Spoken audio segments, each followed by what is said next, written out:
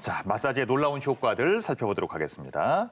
그러니까 한 번에서는 몰라요. 꾸준히 하셨을 때 오, 통증을 치료까지 치료하는 효과가 있습니다. 네.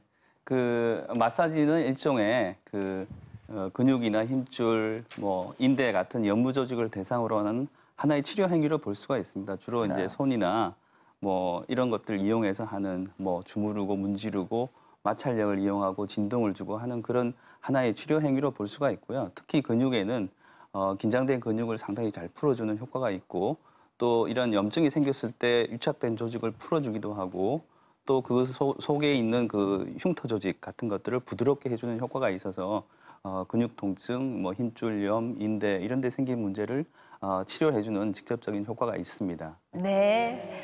자, 마사지의 놀라운 효과 다음 보겠습니다.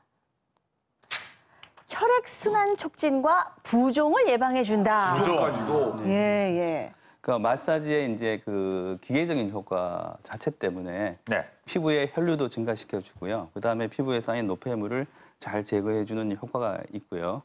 아울러 어, 정맥혈의 순환도 촉진해 주는 효과가 있습니다. 그리고 우리 몸 속에는 이제 그 혈액 순환만 있는 게 아니고 림프액이 순환하고 있거든요. 특히 이제 림프액으로 림프액의 순환이 문제가 되는 경우가 예를 들면 이제 유방암이나 뭐 자궁경부암 수술 후에 림프 조직을 좀 제거를 하게 되는데 그러면서 림프 부종이 생기게 됩니다. 근데 그런 경우에도 가장 직접적으로 이 림프 부종에 대해서 어, 림프 마사지를 해주게 되면 직접적으로 순환이 좋아져서 치료되는 아, 그런 효과가 아울러 어, 가지고 있습니다. 네. 자, 다음 효과는요. 마사지가 이런 효과가 있어요. 피로. 야 이거 꼭 필요한데. 이거 한번 아- 안마나 뭐 마사지 받고 나면 피로가 쫙 풀리는 느낌 받죠? 네, 맞습니다. 저도 가끔 마사지를 받을 때 잘 받고 나면 정말 아주 개운하게 한숨 푹 자고 난 것 같은 개운한 느낌이 들 때가 있거든요.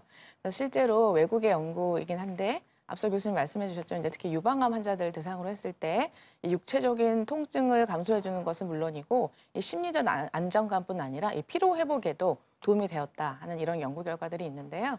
그 이유는 이제 근육이 이제 마사지를 통해서 이완이 되니까 이 림프와 혈액 순환이 활발해지거든요. 그러면 어 우리가 흔히 그 피로 물질이라고 알려져 있는 유명한 물질 젖산이라고 있는데 이런 물질들이 또 빨리 순환이 되면서 제거가 되고 또 일단 림프라고 하면 우리가 알고 있는 노폐물과 독소를 제거하는 기능이 이제 중요하기 때문에 노폐물과 독소가 제거가 되면 당연히 피로 회복에 도움이 되겠습니다.